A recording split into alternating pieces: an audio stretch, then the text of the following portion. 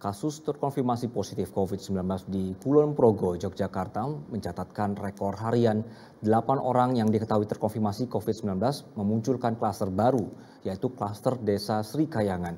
Lonjakan kasus terkonfirmasi positif di Kulon Progo sebanyak 8 kasus baru dalam sehari. Penambahan ini terbanyak yang pernah dicatat oleh tim gugus tugas. Juru bicara menyebutkan bahwa Tujuh dari delapan pasien diketahui melakukan kontak erat dengan pasien positif asal Sento, Sentolo yang meninggal dunia di RSPKU Muhammadiyah beberapa waktu lalu.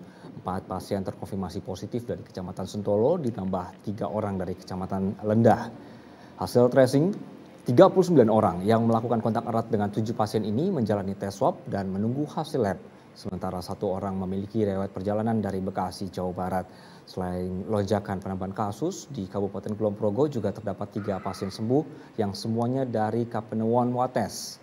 Secara kumulatif, kasus di Kulon Progo mencapai 53 orang, 23 orang masih dalam perawatan, 29 sembuh, dan 2 meninggal dunia.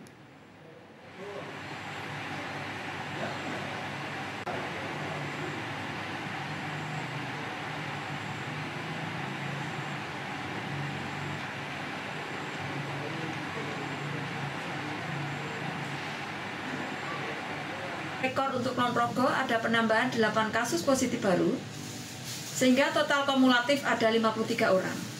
Kasus 7 baru tersebut merupakan klaster Sri Kayangan, sehingga total kasus klaster ini ada 9 orang, dan dua di antaranya adalah meninggal.